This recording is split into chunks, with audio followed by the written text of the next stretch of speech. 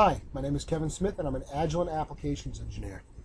Today, I'm going to show you how to use the digital channels on an Agilent MSOX 2000 or 3000 series oscilloscope. One key point is that these MSO digital channels are timing only channels. They sample asynchronously to the signal. This is not a state analyzer like you would find on a true logic analyzer. To start, we always want to do a default setup. This puts the scope into a known, uh, known good state.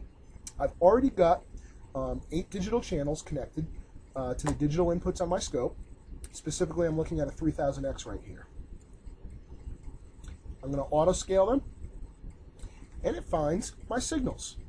Okay, I've got D0 through D7 connected on my 3000 series scope. On the 3000, there are 16 digital channels. On the 2000, however, there are only 8 digital channels. First thing I'll point out is that highs are shown in green, transitioning are shown in yellow, and lows, or zeros, are shown in blue.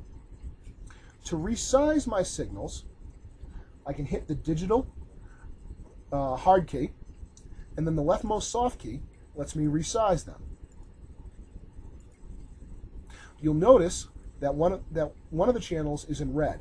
This in, this is trying to tell me that I can use the um, uh, these two digital knobs or the knobs in the uh, extra section. Okay, and if I move the knob, spin the knob, it select it moves which waveform is selected in red. And I can now use the small, the lower knob to move the signal position on screen. Okay. Also notice that there is an activity indicator. This indicates that uh, D0 through D7 are transitioning. If I wanted to turn on an extra digital channel, I would click this, the second most soft key from the left, okay, and I have now turned on D15. There's no activity on D15, so it's just a flat line. Notice that the sample rate did not decrease. Okay, so if I wanted to turn on D14, I would use the selector knob, get to D14, and I believe pushing it should select it, or I can turn it on here. I don't want these channels on though. There's no activity. So let's turn them off. Okay, I can turn them on in groups, however. We can now see that they're all on. Okay, um, I can also change the thresholds on a per 8 channel or per pod basis. I have TTL, CMOS, ECL, and user. User lets me select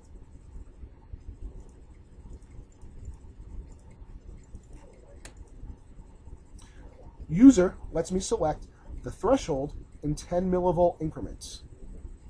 Okay. If I wanted to assign some channels to a bus, I have two bus selections, bus 1 and bus 2. All right, I can switch between uh, assigning to, to a bus with the selector knob.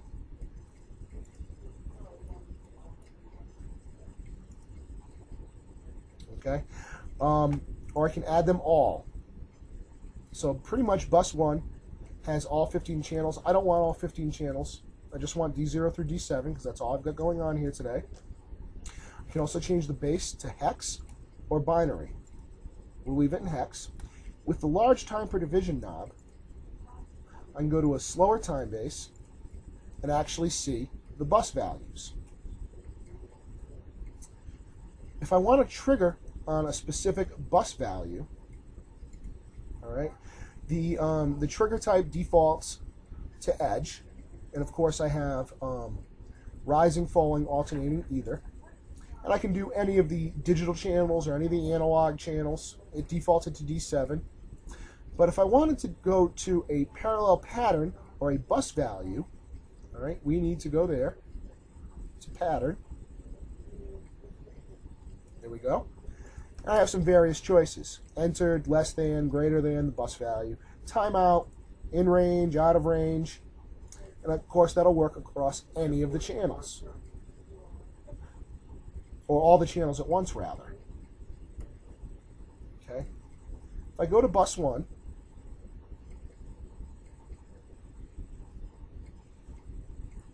okay, I can now enter some bus value in. For example, I happen to know that I have a 7 on here. So I go to um, my hex value, spin that, spin the knob till I get to A.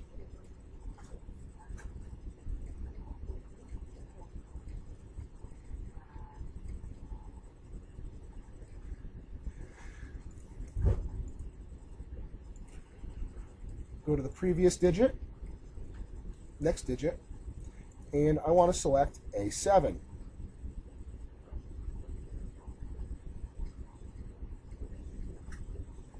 All right, now notice I'm always, I've got a rock solid trigger A7. I can also put this into normal triggered mode from the mode coupling hard key. Okay, so now I've got a bunch of bus values displayed. Hey, that's great. I can save these off under the save utility hard key. If I put in a USB stick, I would want to select format, ASCII XY, adjust settings um, as needed, name it, save it to a USB stick. But this isn't maybe the most useful tool. Um, with the 3000 series scope and the advanced math package, there is a logic or digital chart operator. Okay, this is an add-on feature. It's a license key enabled. You'll see that I have a state mode and a timing mode. Okay, state mode is still not a true state mode, but I have to assign a clock from one of the unused digital channels. Okay, uh, with a rising, falling, or either edge. The chart will then be displayed as if it were sampled in state mode. It is not sampled in state mode. It's still sampled asynchronously, but the chart is displayed as if it were acquired in state mode against the clock. Since I don't have a clock to use on this particular signal, we're going to go, I'll show you this in timing mode.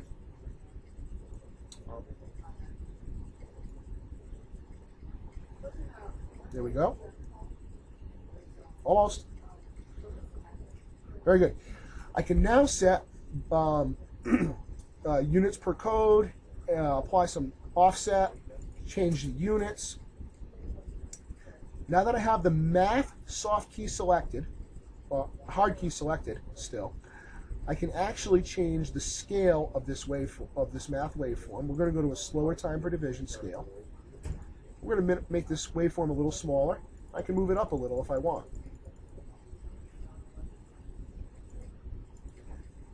And I can see that this that this is an 8-bit DAC spitting out a sine wave. And that's the that's the short version. And that's pretty much all of it. Thank you for your attention.